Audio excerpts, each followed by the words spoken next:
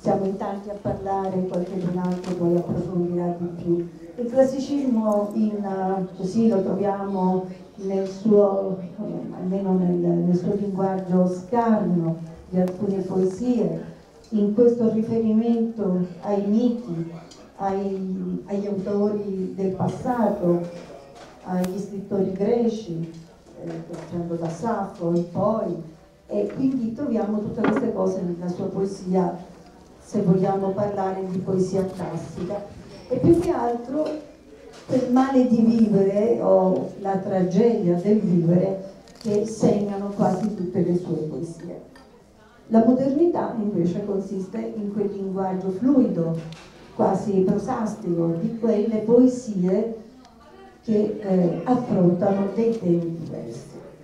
In questo confronto continuo con, eh, tra un mondo classico e un mondo moderno trovano posto tutte le varie dediche nelle varie raccolte. Sono dediche o versi che si rifanno appunto a tutti eh, gli autori, a tutti i poeti più importanti, quindi da Saffo a Giacomo Leopardi, a Salvatore Quasimodo, Giovanni Pascoli, non vado in ordine di epoca, vado un po' in qua e là, a Ugo Foscolo, Eugenio Montale, Gabriele D'Annunzio, per arrivare addirittura a Peter Russell che, che, è scomparso soltanto da poco, grande amico del Centro Culturale Firenze Europa, di Mario Conti, eh, poeta che abbiamo avuto l'onore di, di, avere con noi e di premiare.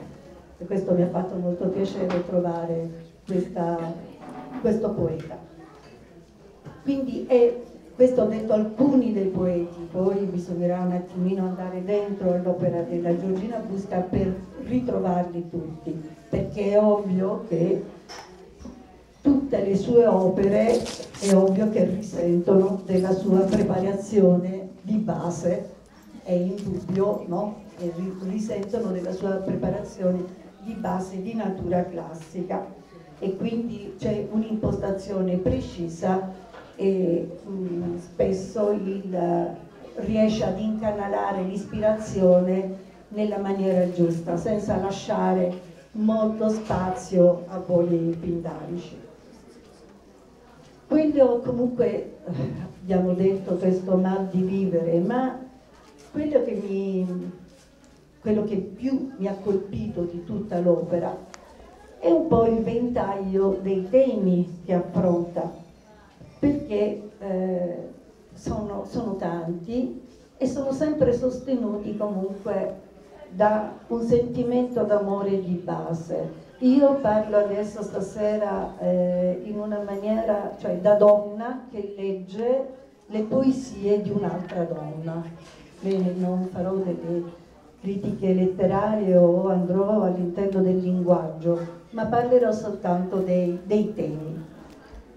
Questo, eh, tutto ciò, quindi eh, questo sentimento d'amore, questo sentimento d'amore che spesso è fonte di delusione, è proprio fonte di, questa, uh, di questo dolore, che, però parliamo di dolore, non di disperazione, di questo, questa introspezione profonda, di questo guardarsi allo specchio, di sapere esattamente, conoscere esattamente i propri sentimenti fino ad arrivare all'annullamento. Questo è un, diciamo, è un diciamo, un sentimento molto forte, spesso le donne eh, scelgono la strada del silenzio e dell'annullamento di fronte a delle situazioni che non riescono a sviluppare come, come loro vogliono.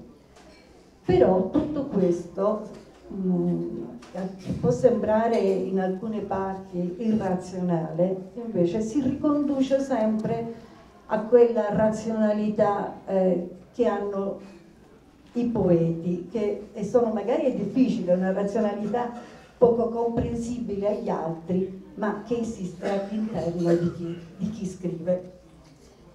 E questa razionalità io la riconduco ad una mia intuizione personale, è una domanda che avrei fatto all'autrice se ne avesse avuto il tempo, perché proprio nella scelta del titolo della prima raccolta è come se fosse contenuto tutto il suo essere.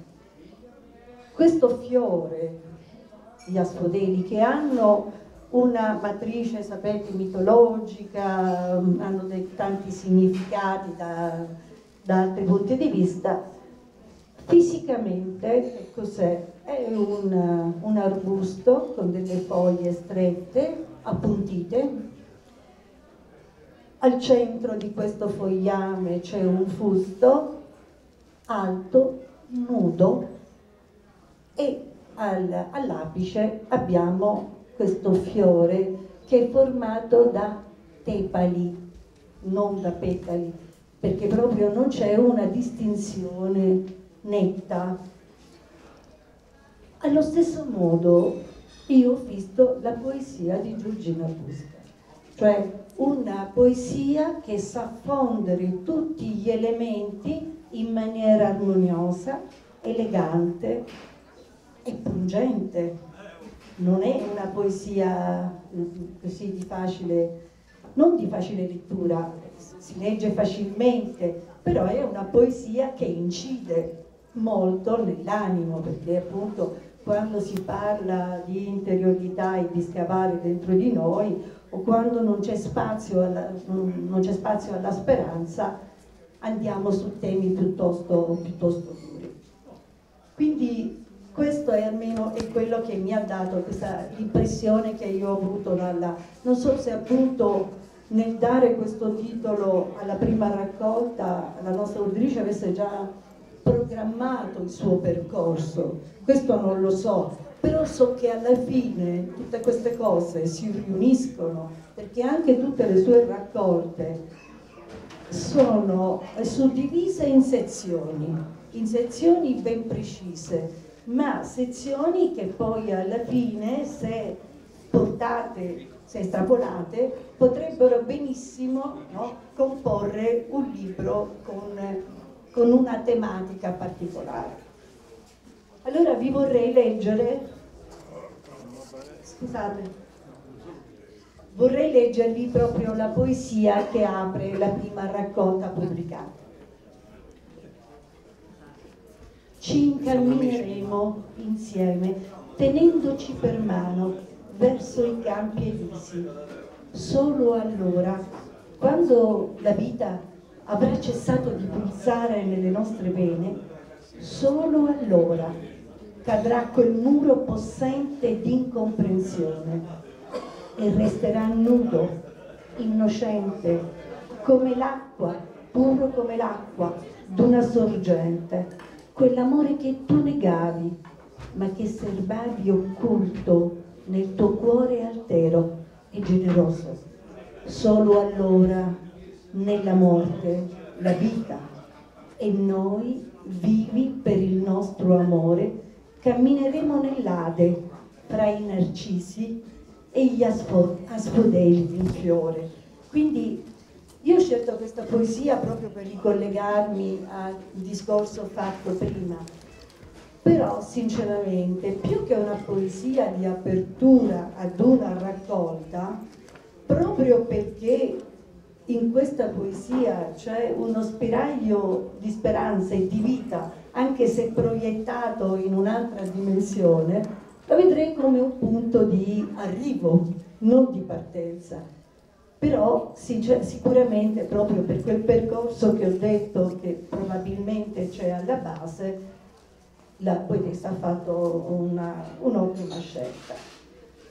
Quindi in questo, in tutte, mh, per, per, questo dicevo, sono eh, queste poesie non tutte, cioè perché questa è una poesia in cui c'è qualche speranza, ci sono delle poesie molto, eh, molto eh, profonde che scavano nell'animo umano in maniera molto dolorosa.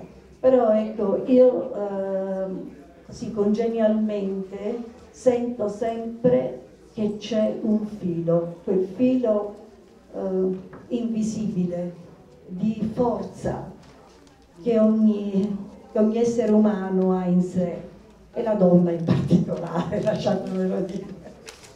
Allora, adesso vorrei leggere due poesie, una che, che ehm, è tratta dalla raccolta Parole d'ombra luce e un'altra da Ombra della sera.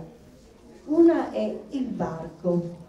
Guardate proprio questa poesia come è incisiva, però come nell'ultimo, proprio all'ultimo istante c'è qualcosa che la salva. Allora, buio, ancora buio, ancora buio. Invano cercare la luce, almeno una tenue trasparenza che allenti l'atroce morsa tenace dell'atra tensa caligine.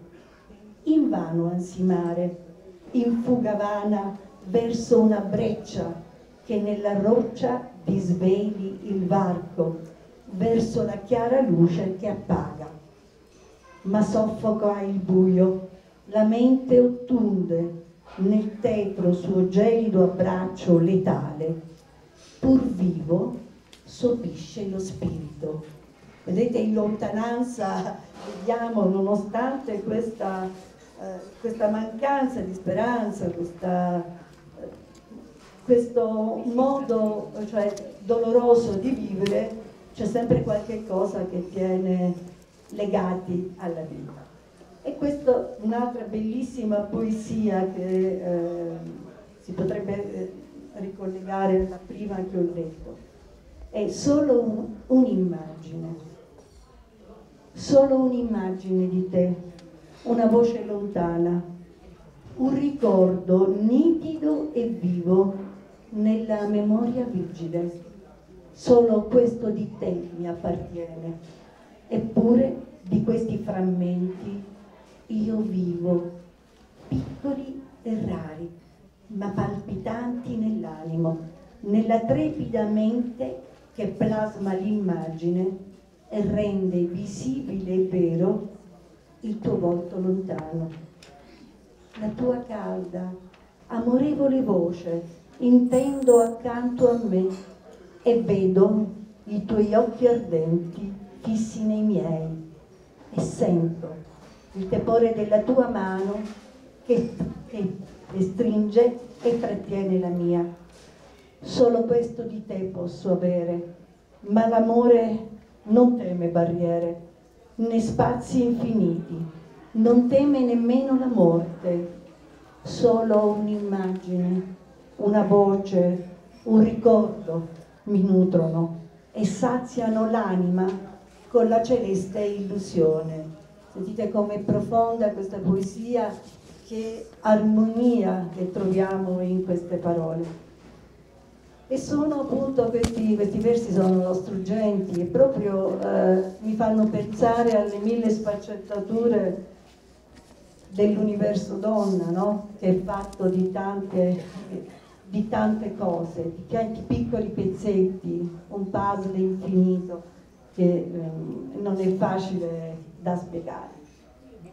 Comunque, ricollegandomi a quello che erano i temi, prima ho detto che eh, Giorgina Busca-Gianetti affronta diversi temi e tra le varie sezioni delle sue raccolte ne troviamo alcune molto belle, dedicate una alla madre, un'altra, una, un paio di poesie dedicate al padre, un padre che non ha mai conosciuto perché è morto in guerra, che non, è, non ha avuto il tempo di conoscerla, e una alle zie, al, quindi, quindi agli, affetti, agli affetti familiari.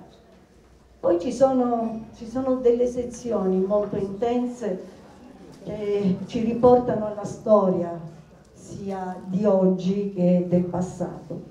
Alcune, e questo sono nelle sezioni macchie d'ombra e Thanatos, che appunto questa, questa distruzione, no? questo portare alla morte, alla distruzione, che affrontano i temi veramente tragici degli ultimi tempi, cioè le stragi di Baghdad, dei soldati italiani uccisi a Nasseria, il massacro di Beslan, il furore dello tsunami, il ricordo dell'11 settembre, per poi in alcune sezioni tornare ai suoi ricordi infantili, penso, della prima infanzia, quindi dei momenti della guerra.